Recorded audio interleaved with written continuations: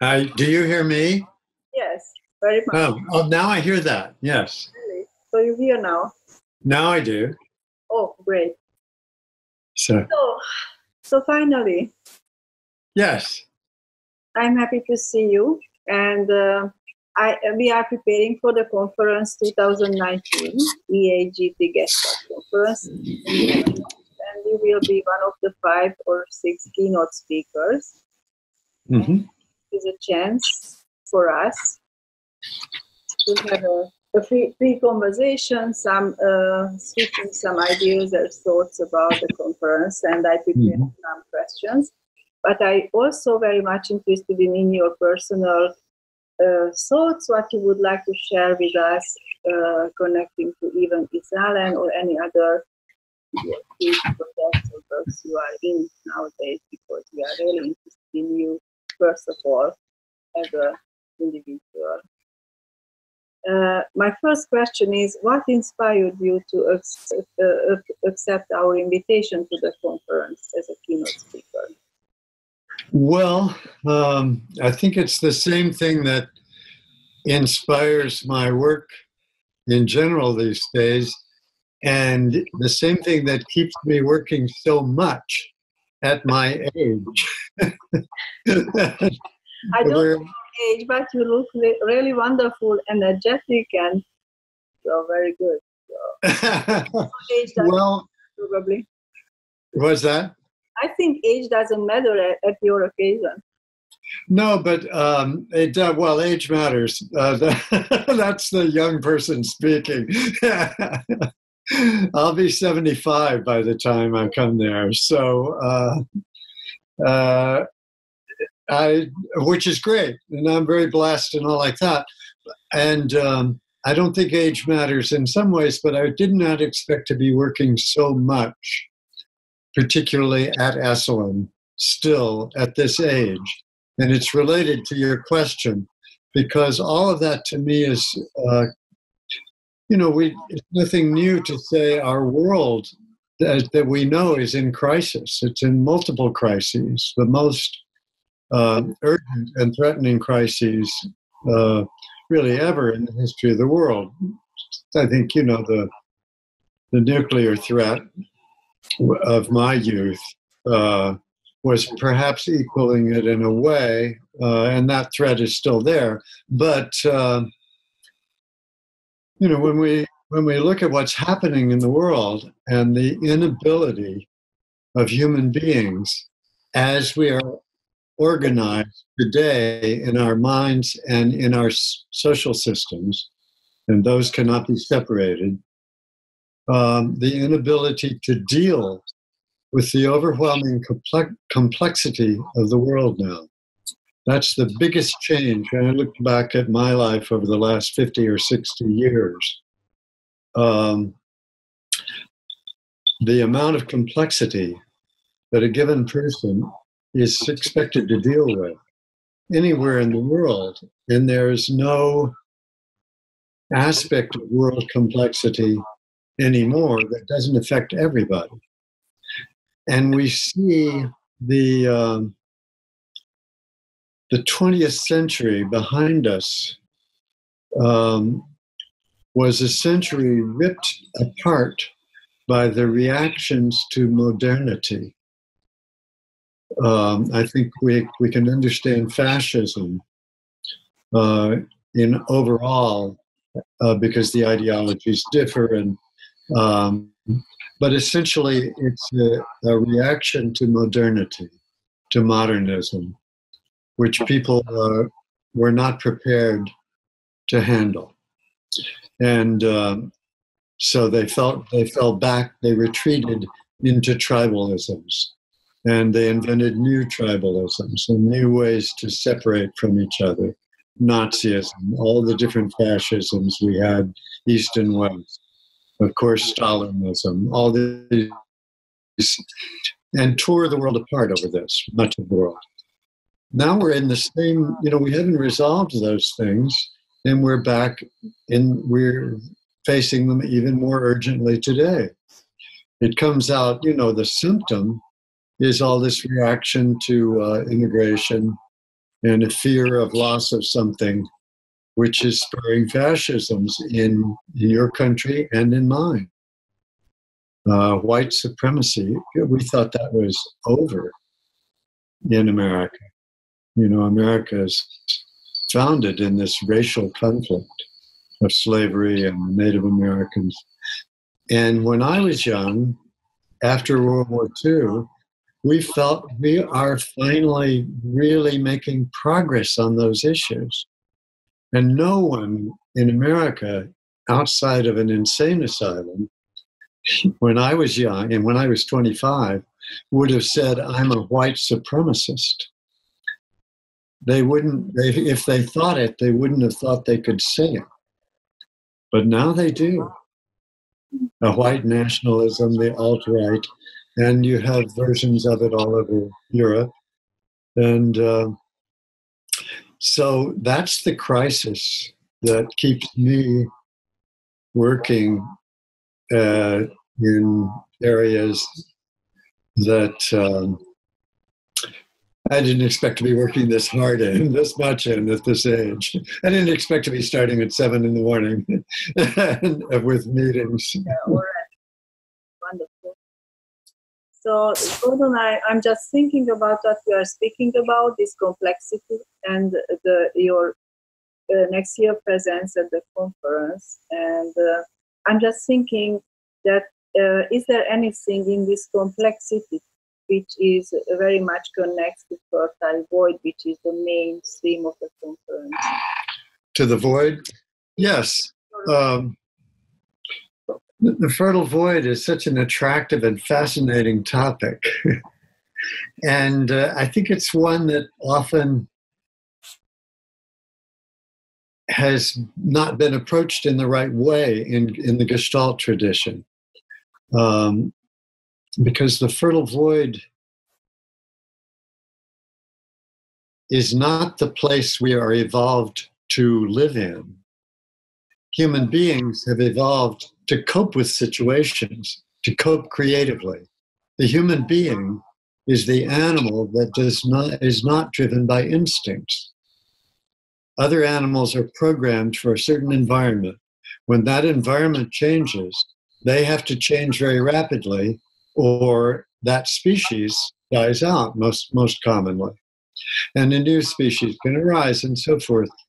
Humans have persisted and dominated the globe by having become freed from instinct patterns so that we're we have this flexible brain this is what gestalt is all about we can we uh, approach a situation we can combine it in a new creative way and that's that's what the early Gestalt research a century ago dealt with. Was they were really trying to get at, wait a minute, we've got these Freudians that was becoming very big then that say that we're really just driven by biological instincts and every you know and our consciousness is really a, a side effect but not driving the show. And if you want to know what somebody thinks or feels or what they understand, they're the last person you should ask. You should ask their analyst because the analyst understands them and the person is just in denial. Uh, so that was that perspective. And then on the other hand, you had the mechanists, the behaviorists, the early behaviorists. They're more sophisticated now, of course saying, well, no, it's all training, it's all environment, it's all reinforcement, and you, uh, it's a, a human is much more like a machine. And along came the Gestaltists and said, you're leaving something out. There's a synthetic step that the human mind goes through, an interpretive step. You know, the greatest of all the research Gestaltists, Kurt Lewin, or Levine, said, um, There is no such thing as an absolute perception. There is no perception without interpretation. And that gives you that cultural relativism, that um, interpretive relativism in, in meeting reality and dealing with it, which was so alarming to um, lots of people with early Gestalt, and again in the 60s and the 70s. Like no, no, it's not fundamentalist enough. Where's your basic text? And not only people outside of Gestalt, but within Gestalt, we had many people when I was young who wanted to reduce Gestalt to a fundamentalist text. It was a certain way of doing things. You had to do them the way Perls did them, or you weren't getting authentic emotion. Goodman was always a little different. But the truth is, um, the picture painted by the early Gestaltists, the picture that Goodman built the theory on, and Perls applied it in one way, but Goodman's theory left a lot of space for interpretation. We approach a situation, we interpret it creatively, freely, with a mixture of old expectation and new experience, and we synthesize something new. And that's what we're doing all the time in life. All the time. We think we're having, uh, we think we're separating observation from interpretation. But of course, we never really completely do. Our observations always have an element of subjectivity in them. That's our source of our strength as humans. We can always think a new thought, we can create something that didn't exist before. But the complexity of that becomes overwhelming when you look at a different complex social species like ants or social insects, they have almost no brain. And with a couple of little chemical very on off switches, kind of a little uh, binary system in there, they can do enormously complex things as a whole hive. So they can follow tray they can follow to where the food is and then they can let that trace evaporate and they can be enormously efficient but they cannot change that's why there's over 10,000 species of ants in the world. Each one adapted to a particular environment. If that environment changes they migrate or they die. Doesn't matter there's more species. How many human species are there in the world? One. Because we can adapt to different environments. So, but the problem of that is complexity, back to that, because we're in the age of complexity now. Um, complexity can become overwhelming. It is, we can, and tolerating complexity requires support. Support is a topic that was long neglected in Gestalt. It's to me, it's the most important topic we must deal with theoretically in, in our practical work as Gestaltists today. And we can we can deal with it, but we need to turn the lens of our attention um, on the question of support. We've paid so much attention to figure in Gestalt theory we have to go back to ground and pay attention to ground. Now that brings us to the fertile void. Where do we get away from this busy coping, busy coping that we do all day long? Trying to, because humans do things in an organized, fresh, creative way, which means we're constantly problem solving. Another classic um, statement of Lewin's that every perception has the quality of solving a problem. All perception is not one to one objective registration, it's a kind of problem solving. I look at a scene to make meaning out of it so that I can cope with what's next. If I want to get refreshed, get a break from that, I have to actually learn techniques for doing that. My natural thing is cope, cope, cope. Synthesize, synthesize, synthesize, solve, solve, solve. That's our survival characteristic. That's what we're evolved for. If I want to take a breath, I have then I can meditate. And the fertile void Well, one thing about the fertile void is it's a potentially meditative spot. we, we step back, we loosen this problem solving grab that we put on reality, trying to do something with it. Uh, and uh, and we have a, we can have a wonderful feeling of relaxation and come back with new creativity because we've loosened our our hold and this is what happens in the world today our hold on reality which is our versions of reality our interpretations is too tight. That's it's too too tight. We hold on too tight to our own interpretations too too firmly. Our grasp is too firm. We don't we have trouble loosening it. The more the conditions are dangerous in the ground the more the the less support there is for me the tighter i hang on to my habits the, the structure of the brain deals with complexity by constantly inventing or or uh, strengthening habits. I can't, you know, I you watch this is classic, but you watch a baby walk, and they're trying to solve the problem of walking, and it takes all their concentration, and then they see some the teddy bear, and they want to get over to that teddy bear, and they forget about walking and they fall down.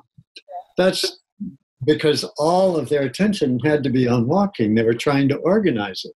Pretty soon, that's habituated, it's automated, it's organized, and they do that uh, automatically while going to get the teddy bear.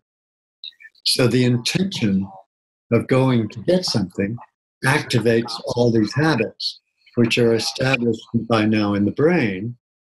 And uh, and then you start to be able to do more and more complex things. Now, this is what therapy is about. As we learn these patterns in life, relational patterns, how I, because everything we do is relational, how I deal with people, how do I deal with men, how do I deal with women, how do I deal with sexual situations, how do I do deal with power, how do I deal with intellectual challenge, how do I deal with friendship? I have many, many organized habits to fall back on so that I can, but they're not, they may be very flexible. If they were formed under conditions of support developmentally, they are not, they remain flexible and continue to evolve as I get older. If they were formed under dire emergency conditions, they're not flexible. So that I always react to a threatening man this way. I, oh, if you raise your hand, I have a trauma reaction. I can't, I have no choice. Um, the frontal cortex is, you know, is not involved very well. That's those are the extremes. You wanted to ask something? I'm going on and on. Go ahead and make a comment. Well, yeah, what uh, you are speaking about is so interesting, and I have several thoughts and comments in me, but I don't want to interrupt you. well, I would just say that when we come back out of the fertile void, we come into a world which we have, or back into a world which we have organized by habits. Now, if these habits were formed with support, like uh, my many of the habits, some of the habits I formed as a child, and many of them later, are very flexible. I learned something, and that this is the human genius. That becomes the basis for more learning. But the habits that were formed under emergency, I've had to simplify the world. I always handle that in this way I have fewer categories for interpreting this particular event. Well, if you think about it, that's the neurotic personality, very much bound in habits. That is also the fascist thought pattern culturally. We reduce everything to us and them. white and black, uh, uh, conservative and communist, whatever, whatever it is. We've got a few categories. We re- re- reduce the whole complexity of the world to that. And why do we do that? Because conditions don't feel safe. So when people are under unsafe conditions, as children growing up, or as a society going through threats and changes, then they reach simpli- to simplify the field. I've got to be very mobilized here. I don't have the leisure to consider a lot of options. Emergencies might come at me. I have to simplify my field of experience. Um, to, to maintain complexity, which is based, is required for creativity, I have to have more support. If I don't have it, I have to simplify my field. What's the basic simplifying move that humans make? It's us, them. It's to put a boundary in the field. This is us, my group, because we have to have a group, and that's them. And then I know where I stand. And we can have an enemy. And if if you're on that side of the boundary, that's all I have to know about you. I don't need to know what kind of person you are and that you love your children and that you really wish we could have peace and you'd like to be. No, you don't trust all that. You're the enemy. I know everything I need to know about you once I know your category. Same thing on my side. All, all these people, uh, great, great. all I need to know is they're on my side. I don't uh, I don't look into whether they're honest or dishonest or nice or not nice. So you see what I mean? We're having a a trauma replication as we would look at it as a trauma case nowadays in um, at a at a societal level, at a world level, at the traumatic cultural world field. And it leaves no leisure, no safety, no space for the fertile void. So, so it's a contradiction that uh, what we human species created on the earth. Do you hear me? Yes, but uh, not well. Speak a little louder. So it's a kind of contradiction that we human species created on the earth, this complexity that you are speaking about. And it means there are so many, so many things parallel are, are in with us in the here and yes. time. Yeah. We have to be very complex and very alarmed. And it, mm-hmm. being alarmed cause fear because we are not insecure. So we we created a wonderful complex world. At the very same time, we fixed being in fear all the time. And yes, we we cannot handle it without more support. Yeah. So we're in a state of alarm. That's a very good word for it. And what do we do? We reduce the complexity of the field. We have to. Complexity, creativity comes out of complexity. Complexity requires more support. So if, if you want um, uh, the alt, what we call the alt right, the alternative right. If you want uh, fascism in the United States to settle down, we would need to have um, national health care. You know, for example, we would need to have more uh, safety and support so people could relax a little bit and not be so damn panicked all the time. So it's really a direct application, and it comes out of Gestalt theory of clinical insights to a social level. Uh, and uh, hmm. sorry, it no, go ahead. speaking about connects very much to my next question. Mm-hmm. What do you think Gestalt therapy represents nowadays in the world? Do you hear me? What do I think in the world today? Well, first of all, um, we can't help noticing, and it's quite relevant, that the brain model, the, the whole revolution we're living in of brain research, beginning to understand, we will look back on these as early crude days, but we're beginning to understand something about how the brain works and how the complexity of the brain works and how we educate and support people to have a robust integrated brain network so they become resistant to uh, to panic they become flexible they become resilient to stress. We know how we can do that. Uh, we know what that brain looks like and how you train for it uh, that whole model is the Gestalt model. It is Kurt Lewin's early Gestalt model applied to the brain. The, the, the brain model of neuroscience today is that we have we constantly approach new situations we constantly resolve or assimilate them to old patterns or make new patterns and uh, and that that's what we do all day long. We're solving problems. That's how the brain works. It's doing uh, with more, and again, I keep saying with more or less support.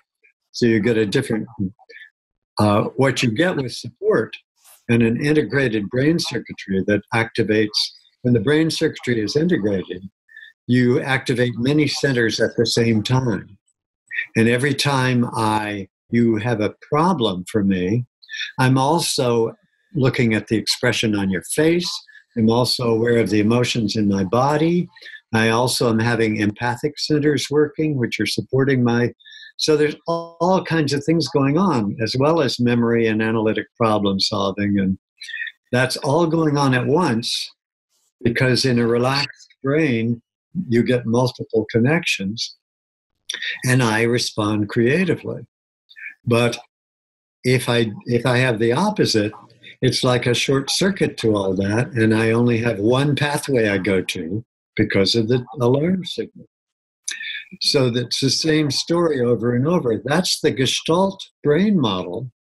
Now being validated, you can pick up the uh, scientific journal or the popular newspaper online, whatever, every day, and and read more brain findings that validate the Gestalt uh, brain model from that uh, that is was totally radically different from the behaviorist or the psychodynamic model of the brain, the model of human behavior. So um,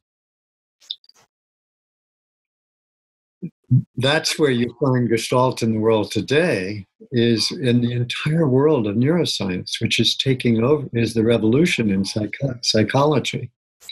And it supports, well, it supports, for instance, confluent education, integral education, which is what Esalen Institute, if you're familiar with, with that at all, has stood for for 60 years. That you must educate all aspects of the person. They, these were insights coming out of uh, Eastern teaching before they were validated by brain by contemporary brain science. Today we know that is true. When you uh, when you train, when you develop the body awareness and the social awareness and the spiritual capacity, which is to go to that fertile void, and the um, along with the intellectual, uh, when you have all these things developing together, you get a resilient person, a creative person, who then can contribute much more to their own life and to society. So it's exactly the education we need for today is Gestalt integral education. And that's being proved more and more. Uh, so it's a very exciting time for neuroscience and for Gestalt, which have converged. So, uh, so that's one kind of answer. So at the same time, uh, I don't know exactly what the scene is like in uh, in Central Europe now, but certainly in Western Europe and, and in the United States and and, uh, and in much of Asia, uh, meditation and yoga and mindfulness and all these things are everywhere. Esalen used to be a lonely pioneer for these things 50 years ago, 40 years ago. It was woo woo, it was far out there. It's what, you know, bored actors and actresses would go to Esalen and do some yoga. But other, it's not for everybody. Now it's on every corner. You go to New York City, on any corner, there's more than one yoga studio. You just look up, not just one on a, not just one on every corner. That's the, uh, the cliche. Yeah, it's more than. Yeah, but, but uh, do you hear me now? Yes. So the Esalen is is more than the place you are speaking, like a kind of meditation and yoga place. It's very holistic. First of all, Gestalt is there, and the scientific is there, and it's very rare that a flourish business and a holistic place and teaching, life long teaching is at the very same time, at the very same place, is together. And that's Esalen, right? Well, that's, of course, a great thing, but it's not as rare as it used to be, which is wonderful. We, want, we look at the world and we see Esalen being copied, not as a, not as a copycat copy, but being something in the inspiration of Esalen, a new center developing every week, more than once a week. Someone contacts us for advice about opening a new center.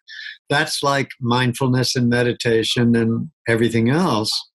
These are methods of accessing the, the whole integral educational program. And, in, and a big part of that is the capacity to go, to step back and go into the fertile void which is it's not everybody's language, but it is to me personally a spiritual place. Spiritual in the sense that you're beyond materialism, you're beyond this is my body and that's not my body, this is mine, this is yours, this is me, this is you. Uh, you have that sense of oneness that is so uh, refreshing. And uh, that's what I call spiritual people have different names for it. People have different definitions of spiritual. It's not the end of religious. To me, it's that's also a religious experience, but not in a organized religion since. It's a belief more, more than religion, no? Yeah. The religion, the religion of no religion, we say it as. Yeah. So as I know, the place has itself a spirit because it's more than 100 years old, the place itself, right? So the property. Uh, Esalen started almost 60 years ago, but on a property that was acquired by the Murphy, by the founder's family, founder's grandparents, uh, over 100 years ago, with the intention of opening a healing spa because these natural hot springs were there. Then came World War One, then came World War Two, then the whole West California coast was blacked out for fear of invasion. The, the road wasn't completed. It was 1962 before they could get around to opening this institute. But it was in, but yeah, it reaches back to 1910. And, and of course, while I'm on that topic, um, at Esalen, we have hot springs, natural hot springs baths, and we have uh, archaeological digs there that date the use of those baths back between six and ten thousand years. So it's a it's a power spot that uh, has deep, deep roots in the Native Americans. Yeah, and I see your face how much it means to you. oh yeah, yeah. Gordon, can we go back in time a little bit, which is not so not so Gestalt uh, method, but can we go back in time? And my question is, what attracted you toward Gestalt at the very beginning? What methodology uh-huh. or what? When I was a young student at the beginning of my career, the very things I've said, because um, 60 years after uh, Wertheimer and Koffka and Köhler and Exner and, and especially Kurt Lewin, uh, and, and Goldstein. After that generation of the 1900, the teens and the 20s, uh, this uh, I was in university and then in graduate school in the 60s. And in graduate school, in academia, our choices were behaviorism and psychodynamics. And both of them taught that uh, a, a great expert distance between doctor and patient. It was very much a patient model. It was still a medical model uh, of people's personal growth and personal development. And none of it seemed to address, it, it seemed that the whole world of psychology had nothing to do with um, the political revolution of the 60s, the sexual revolution of the 60s, the women's rights revolution of the 60s, the civil rights and of, uh, of different minority groups, um, with economic justice, with, with finding meaning in your life. These are the things that motivated us in the 60s generation. Uh, experience and meaning and connection and sex and uh, and uh, and even what we would have called exploration of consciousness. The word spiritual would still not have been acceptable in psychological circles in those days. That was too bourgeois a word. that came in later. But uh, but the but the topic was there: consciousness studies. Uh, we looked to the Freudians, and it was they had nothing to offer us. They were beginning to have Neo Freudians were having a lot to offer us in early childhood development, in attachment theory. But that was very um, marginal and renegade to the, to the psychiatric and psychoanalytic mainstream. Cross over to the other side, and you're in the world on the behaviorist side, you're in the world of Watson and Skinner and uh, and how you train people that people are very trainable and that's all there is to it and what these two different schools agreed on was that the experience you're having right now, first of all, the experience you and I are having have nothing to do with each other because it's my experience is all in my mind and yours is all in your mind. Now we know brain research that is. and that's not the case. We're affecting each other right now, physiologically, leaving a trace as we speak. So the mind is not all in the skull. The mind is here among us, being affected by all the time. And um, and uh, second of all, that my thoughts about what's happening, my experience, is irrelevant in both of those. Uh, in behaviorism, my experience was a byproduct. In psych, in classical psychoanalysis, my experience was a defense. And uh, it wasn't what was really going on in either school. So we needed we needed something. I mean, I'm speaking about rigid caricatures, but we had rigid caricatures at that time. and it, like behaviorism, didn't even call itself cognitive behaviorism yet.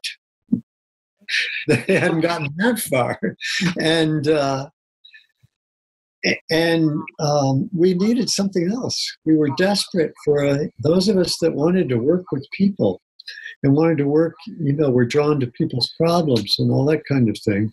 We didn't have any tool. We were going into uh, um, underprivileged areas, into urban ghettos, into poor families, into multi problem situations and we're going to talk to them about Freudian concepts and um, and behavioral schedules.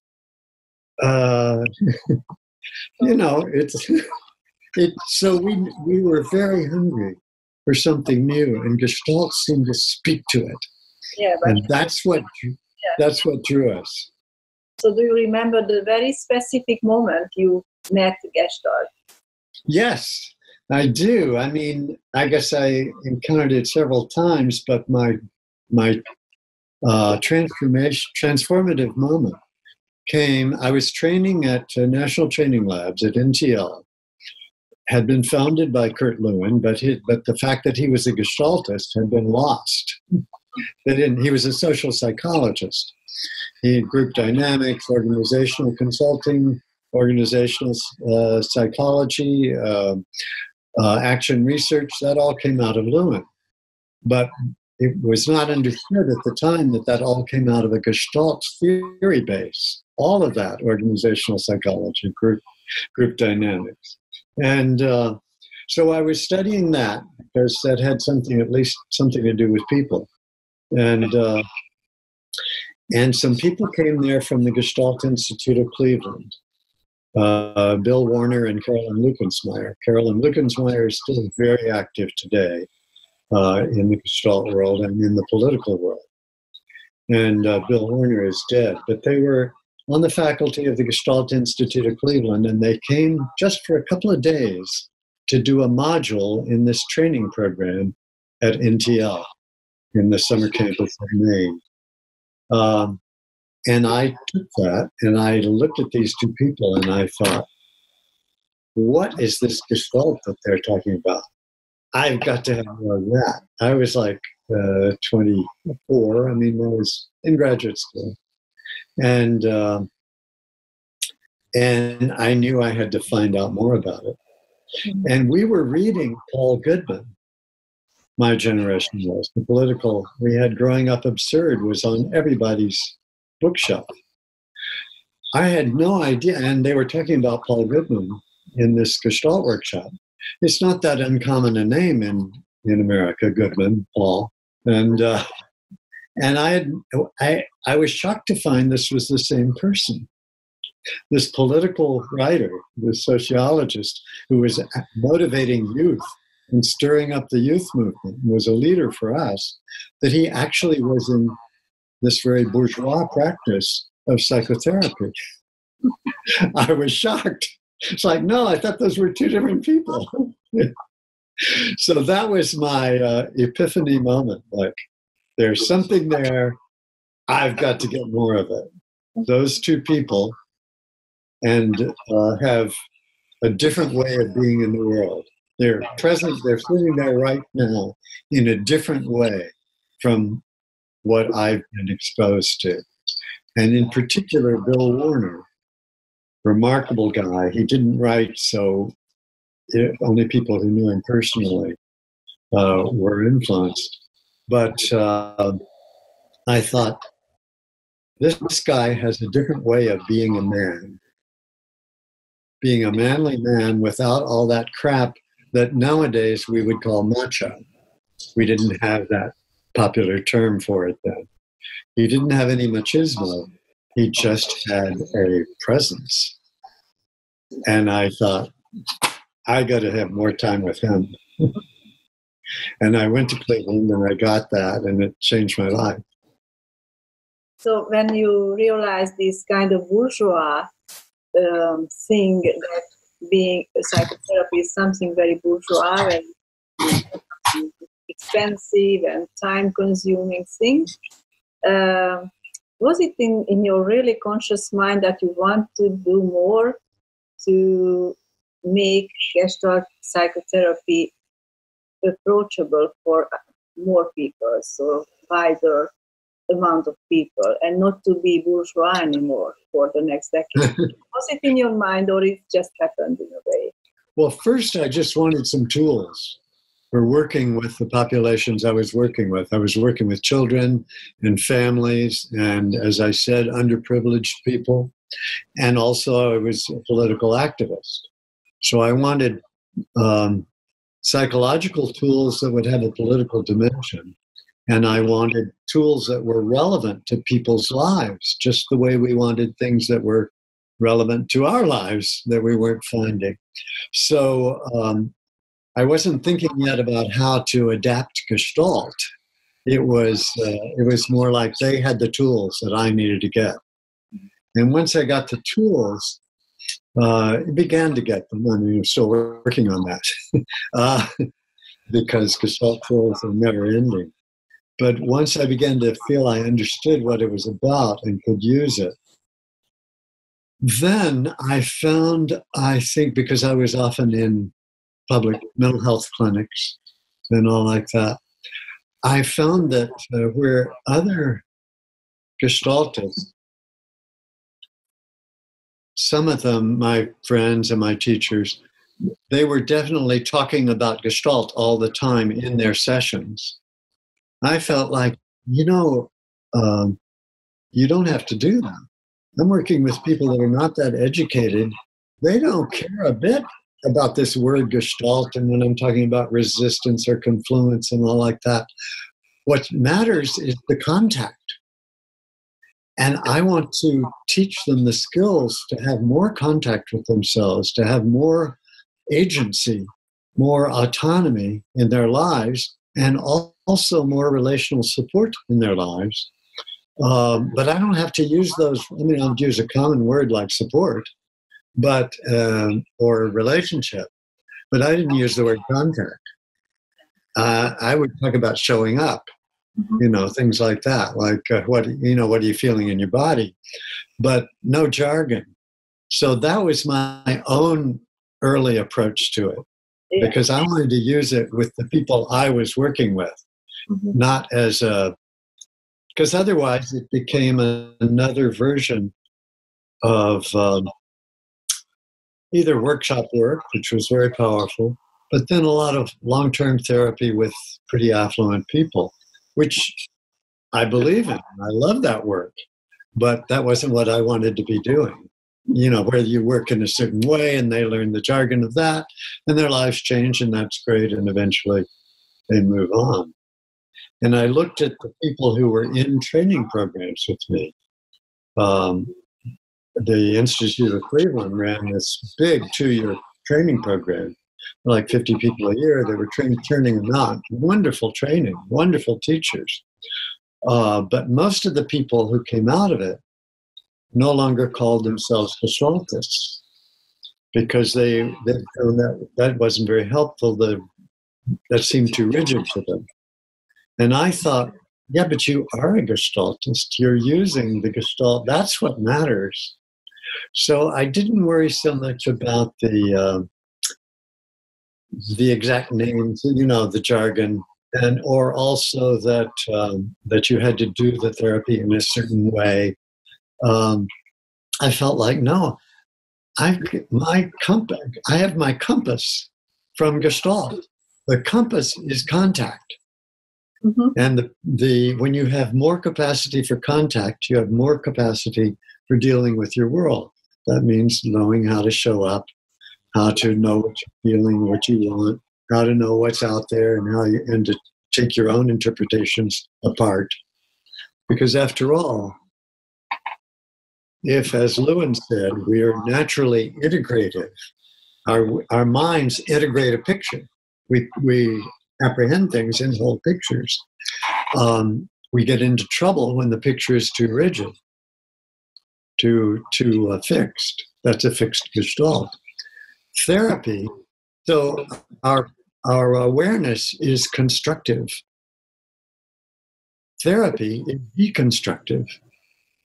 We learn to slow down using the support of therapy or the support of the group, slow down, relax our emergency responses, undo our habitual uh, constructions, and check out what the different parts are missing. You know, take it all apart, and then it can it will put itself back together in a new and more creative way. Well, I found that's that was what I understood as being Gestalt not a matter of of this or that terminology or this or that protocol. Wonderful. so can you can you mention one thing which would, you would say, oh, that is about Gestalt in my life. So that I became a Gestaltist, and that's why there is something in my life. be. Is there anything? I'll tell you, there's a there's it used to be before we had things online.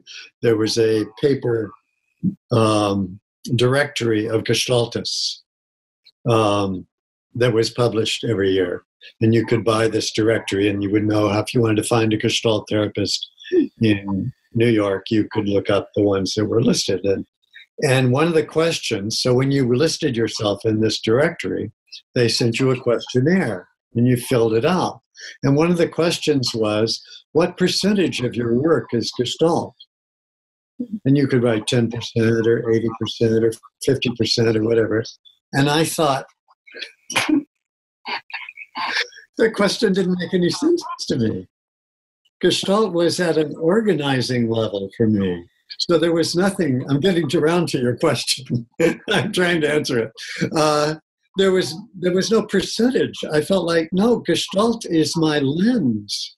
That's how I look at the world. It's in my personal life, and it's in my professional work. So it's all Gestalt. Uh, I'm I'm in a uh, a lifelong quest for um, for greater awareness, greater capacity, and better contact. You know, uh, increasingly richer contact. Better contact to me means uh, I can have more complexity of experience. And then I can offer more complexity. I can offer creativity, the conditions for creativity to people I'm in relationship with. That would include as a parent, now as a grandparent, um, as a um, as a citizen. Politically, I want to be doing that as a as an administrator for many years at Esalen, as a teacher, as well as as a therapist. So it's in. That's my only answer is that it's in every part of my life. It's the lens of my vision. So the question has no sense for you, right? that was the reality. the question that didn't have sense for me was uh, the percentage question. okay. So if you you could ask me the question, where is Gestalt not present in my life? And I would say, well, either the answer would be nowhere, or it would be perhaps in the fertile void. Yeah. uh, in meditation I feel I, in my best moments of meditation, I feel I'm in a place um, where word, you know, the minute you put words on it, you've limited it. Um, but I'm in a place where there's, if I try to put words on it, I would say there's a hum going on in the basic ground of the universe. There's a vibration. What was the My, a hum like mm, you know a, a uh, certain frequency, a vibration. This is my experience, not a not a not a uh, fundamentalist text. Um, and to me, that fundamental vibration of the universe, when we stop and let ourselves relax into the fertile void, when we're safe enough to do that, uh, that that hum is love. That's the background vibration of the universe. So uh, certainly, I feel Gestalt tools have helped me get there and have that experience, rather than be constantly distracted by past trauma. Mm-hmm. Uh, but when I get there, I'm outside of Gestalt. I'm also outside of language. So sorry. I can't I can't speak too clearly about it. well, it's wonderful to hear. So you know, Gestalt helped you to get there, to get the one place you love the most. It's yeah. that's mm-hmm. can say. Well, yeah, and uh, and and uh, well, I have a lot of grandchildren, and the newest one is is four months old, and she's a little girl, four months old. And and I went up. My daughter had a, you know, she had to work, and the babysitter was on vacation or something. So I went up for two days last week and two days the day before to um, to San Francisco to to babysit this baby all day long, and uh, you know she naps a lot, but. Uh, and for sure he's in the fertile void, right? yeah, I just uh, I felt like first of all I could just sit and gaze at this wonderful face, and she's gazing back at me, and I'm in that fertile void. I'm not thinking anything, so and it's and Gestalt has made me capable of showing up like that, being that present. Um, certainly meditation and my meditation uh, my my principal teacher has made a great difference, but that all came on top of and through the lens of show. Mm. So, so I feel I owe to uh, the capacity to have that experience uh, is is a gift of Gestalt. I had that with my own children when they were small, but I couldn't really take two. I didn't feel I could take two days and just do that, and not really do much of anything else. and uh, and just be in love um, because I had to build a career. I had to make a living. I had to manage relationships. I had to be in love in a different way. I had, you know, uh, I was so busy. I didn't have the uh, support that I have now to just take. If I want to take two days, I have to arrange it, but, but I can do it. it's so wonderful to hear. It's really seen seen on you that you are busy in emotionally, you are busy in the business, you are busy in uh, teaching and everything. So it's really a complex life, but you mentioned at the very beginning complexity. That was that was the word you mentioned the most, and that's very visible here as you are speaking. So we are rather close to the end of our session. Sure. And uh, I would like to express my appreciation that you had time and, and energy for, uh, for the, this conversation. And I enjoyed the whole conversation with you. And I have one more last question. Can I have? Please. And that is if there is any message you would say to the participants of the conference, because those people are come from very different parts of the world and a very huge diversity in ages. Mm-hmm. Is there anything you can say it is a good message to most of them? Mm-hmm. You know, just the, the, common thing is that we will be all there in the very same place at the very same time. That's the only mm-hmm. common thing. And the Gestalt, of course. I would say that it's why I've been saying this for the past hour in different ways. Yeah. That uh, humans are unique in two ways. And this very perspective comes out of Gestalt. First of all, we're the we're the we have this social capacity for social relational complexity. That's what we do. That's our superpower. That's what we're all um, superheroes of. Yeah. We can have these very complex relational systems, and that's how humans create, and that's how we have gotten to where we are in all the great ways and all the problematic ways.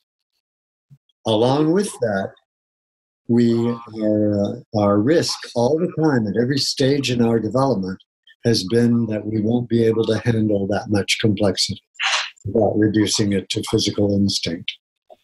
And, uh, and our frontal cortex does not do that.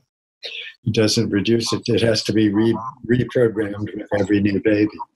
That's why we're so creative. And that's why we're prone to overload. Our world today is in a crisis of overload.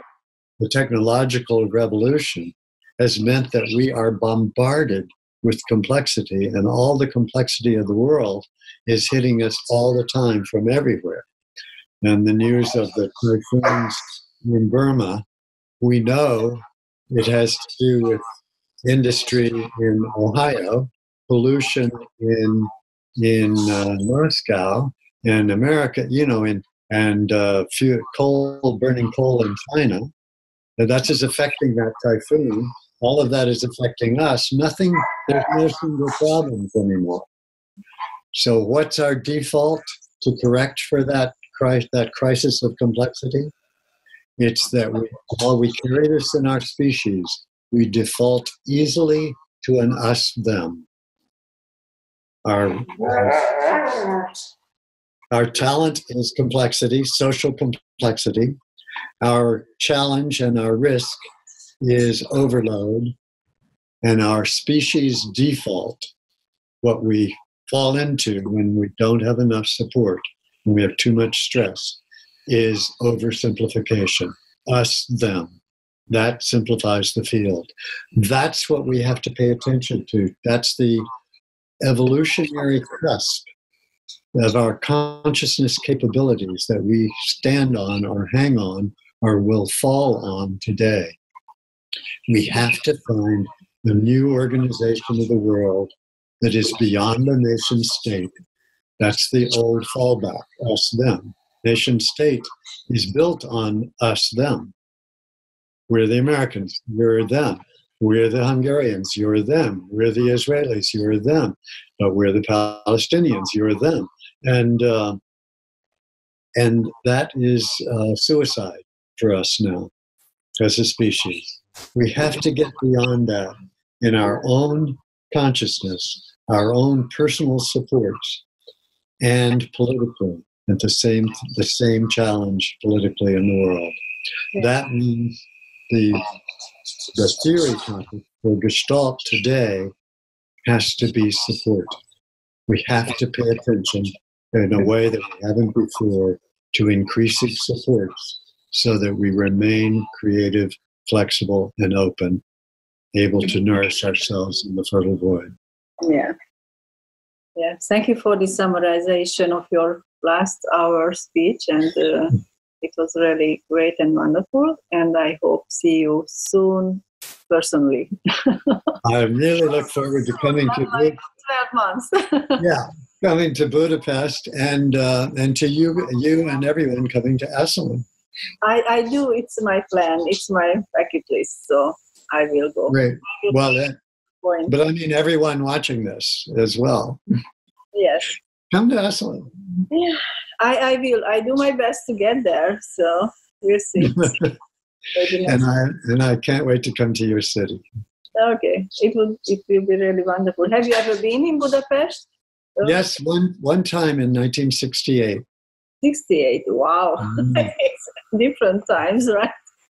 Oh, so different. I was there a, a few weeks before the events in Prague, the 68 spring being touched off. Just before that. Cool. It was the uh, Paris events had already happened and it began to sweep across Europe. Wow. So I do thank you again, and and I'm very appreciated, and I I wish all all the best for the rest of the time we meet. Yes, same to you. Thank you so much for these fascinating questions. Bye. Bye. Bye bye.